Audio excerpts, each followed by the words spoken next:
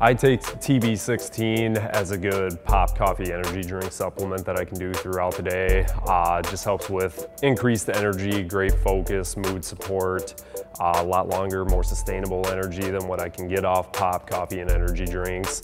And big one is the taste on it, just tastes amazing.